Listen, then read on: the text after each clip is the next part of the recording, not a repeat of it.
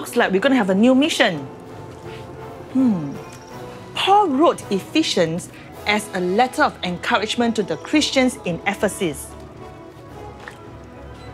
to help them grow and mature spiritually in their walk of faith with God. See, Paul reminded them about what God has done for them and who they are in Christ. Then he instructed them about how to live a life fully as a followers of Christ. Lastly, he challenges them to put on the armor of God to stand against the schemes of the enemy. Ephesians chapter 6 verse 12 tells us that we are engaged in a spiritual battle. As long as we are on earth, we will have to fight this battle in our daily lives. We live in a world with many distractions and temptation that can pull us away from God. When our hearts are filled with doubts, fears, and guilt, we can easily fall into sin. But do not need to be discouraged because Revelation chapter 12, verse 10 and 11 declares that we have the victory over the enemy through the blood of Jesus shed on the cross and by our sharing of the gospels to others. God has provided the armor of God to fully equip us for protection and to help us stand against the scheme of the enemy. Ephesians chapter 6 verse 10 tells us to be strong in the Lord and in the power of his might. We are not fighting this spiritual battle with our own wisdom or strength. We need to first take strength from God and depend on his power. Then we can put on the armor of God as commanded in Ephesians chapter 6 verse 11 to stand against the schemes of the enemy. Imagine a soldier who goes into a battle without putting on any armor. Do you think he's able to fight confidently? Now imagine a soldier who has to put on a full armor armed with a weapon to fight his enemy. You see, to a soldier, the armor will make a difference between life and death. It is a matter of life and death for us too, as we engage in the spiritual battle. When we put on the armor of God, we express our complete and total trust in God and what He has done for us on the cross through Jesus. The armor of God brings about strength, stability, and encouragement so that we can fight confidently. In this new series, we will learn what it means to put on the different parts of the armor of God. They are the belt of truth, breastplate of righteousness, shoes of the gospel of peace, shield of faith, helmet of salvation, and the sword of the Spirit. Let's put on the first piece of the armor of God, which is the belt of truth. We will learn that it is important to hold on tightly to God's truth and to be truthful. Let's say this together God's word is the truth. God's word is the truth that protects me from Satan's lies. That protects me from Satan's lies. And I will speak the truth in love. And I will speak the truth in love. Wow, you see, in those days, a soldier's belt was worn around the waist to hold up the clothes underneath and to hold the sword. The belt was made of tough leather and had brass plates for protection.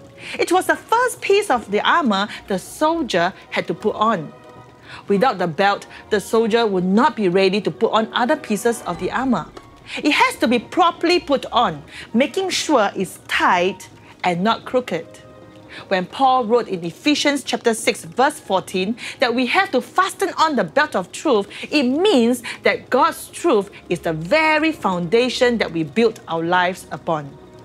Having God's truth in our lives is so important as it will help us to know what is right and wrong especially in this world we live in today, there are so many temptations and distractions. The Bible says that Satan is the father of lies, and he will always feed us lies to turn us away from God. We need to put on the God's truth to be able to stand against the lies of the enemy. God's truth is his word. Psalms 119 verse 160 tells us, All your words are true all your laws are right, they last forever. That's right. God's words are true. We need to know what God says and believe in His word. And to put on the belt of truth is to fully believe God's word as the truth. without a doubt. Putting on the belt of truth is to know who God is and what He has done for us. It protects us against the lies and temptation of the enemy. And we do not keep quiet when others do wrong things, but gently speak the truth in love. Putting on the belt of truth reminds us that we can look out for one another as the body of Christ, speaking the truth to one another in love. There is a story of a couple in the Bible who was not truthful. Acts chapter 4 talks about how those in the early church would sell their lands and houses and bring all the profits they had earned to the apostles. These profits were given to the needy. Acts chapter 5, verses 1 to 6. A man named Ananias and his wife Sapphira also sold some land. He kept part of the money for himself. Sapphira knew he had kept it. He brought the rest of it and put it down at the apostles' feet. Then Peter said, Ananias, why did you let Satan fill your heart? He made you lie to the Holy Spirit. You have kept some of the money you received for the land. Didn't the land belong to you before it was sold? After it was sold, you could have used the money as you wished. What made you think of doing such a thing? You haven't lied just to people, you have also lied to God. When Ananias heard this, he fell down and died. All who heard what had happened were filled with fear. Some young men came and wrapped up his body. They carried him out and buried him. Ananias gave in to the temptation of keeping some of the profits to himself. Peter had to speak the truth directly to him, telling him that he had not lied to man but to God. In the end, Ananias fell down and died because he was not honest. Wow, seems like a harsh punishment. But the truth is, God hates those who sleep tell lies. Ananias allowed himself to be tempted and thought that no one knew what he had done. But God did. And Peter knew the truth, so he had to confront Ananias about his lie.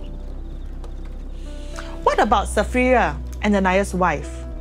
In Acts chapter 5, verse 7, when Peter questioned her about the profits earned, she also lied about it. She thought Peter did not know. And she too fell down and died. Although Sapphira knew what her husband had done, she did not stop his action, but tried to cover up for him. Children, when we know that someone had done something wrong, what do we do? Do we keep quiet?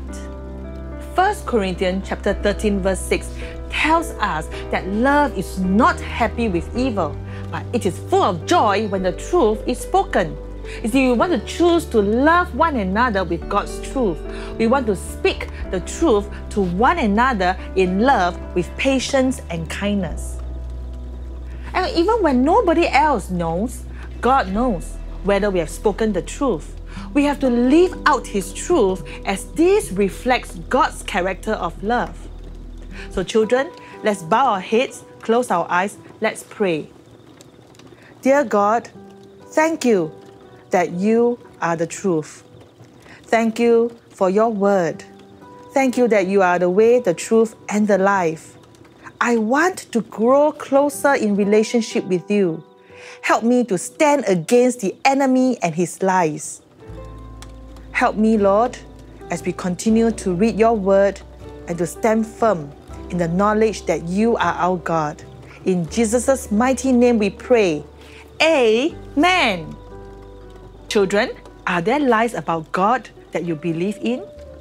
Satan may have planted many lies in your head causing us to doubt if we are truly children of God. But when we fasten on the belt of truth and build our relationship with God, we can stand against the lies of the enemy. Are you speaking the truth in love to others? Pray and ask God for help to know the truth and speak the truth in love. Share with your parents so that they can pray along with you. Let's build our lives on God's truth and seek to grow closer in our relationship with Him. Make a commitment to read the Bible daily and pray.